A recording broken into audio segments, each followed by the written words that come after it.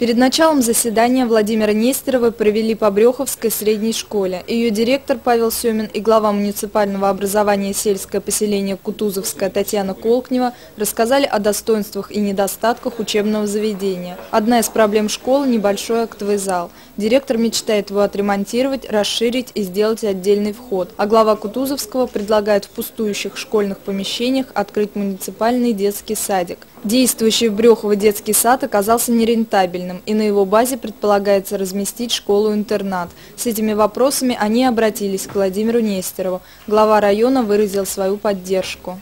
Конечно, есть возможность использовать помещение средней школы. Здесь на базе средней школы создать детский сад. Аналогичную работу мы проводили в Алабушево с точки зрения процедуры оформления.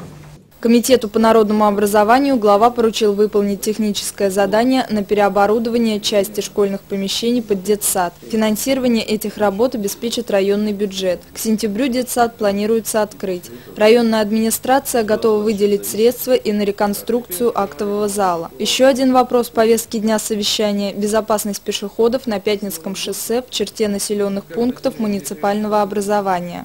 Местные жители требуют установки светофоров. Этот вопрос глава рекомендовал обсудить на Совете депутатов. На этом заседание закончилось. Мы наметили конкретные планы, что можно преобразовать вот на базе э, средней школы, так сказать, Брюхова.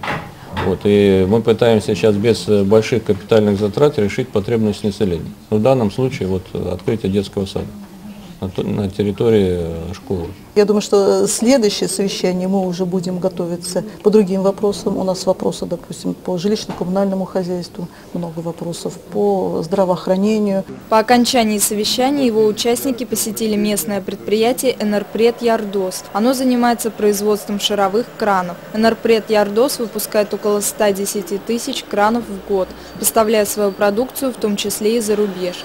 Предприятию приходится работать в условиях жесткой конкуренции. Владимир Нестеров посоветовал директору Энерпред Ярдос вступить в Совет промышленников района для обмена опытом.